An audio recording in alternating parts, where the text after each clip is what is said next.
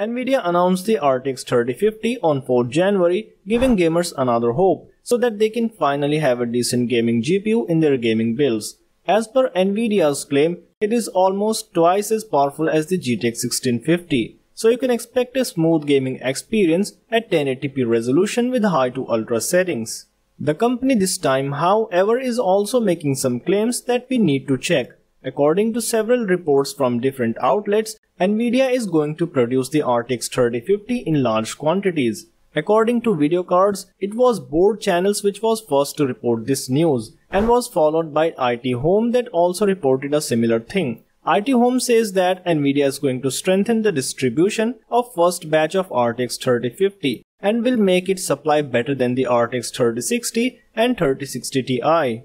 Well, we all know what happened to the RTX 3060 as well as other RTX 30 series graphics cards when they were launched. But according to Nvidia, this shouldn't go like this with the RTX 3050's launch. Moreover, in a recent interview published on Seeking Alpha, the company has made some bold claims. Nvidia says that they have seen a strong demand for the GeForce graphics cards throughout 2021 and it will grow even stronger.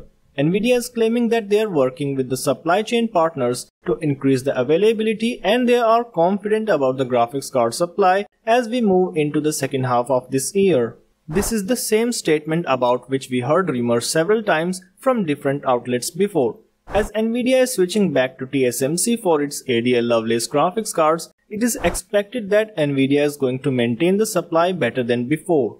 Now as we still have 5 months more before entering the second half, we need to see if the recent changes by Nvidia will work now or will Nvidia still fail to deliver the promise. The RTX 3050 is going to launch on 27 January worldwide according to its official blog post. The suggested price is a minimum of 249 US dollars, which means the factory overclocked and higher end models will go up to $300. But the surprising thing is that the RTX 3050 has already entered the market for sale two weeks before its official launch. As reported by Wccftech, a custom RTX 3050 was already listed online for sale.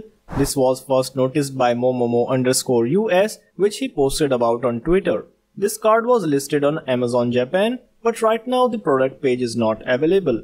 It is said that it was a Galakuro Gaming RTX 3050 8GB graphics card that was listed for 50,138 yuan that converts to 440 US dollars. That is 190 US dollars more than the suggested price by Nvidia. Sad thing is that this wasn't even a premium edition and featured a simple heatsink cooled by a single fan. So you can easily imagine how much the premium editions will cost. While the prices in US is lower than the other parts of the world, going by the current trend of GPUs, I still think the card is going to cost easily above 400 US dollars.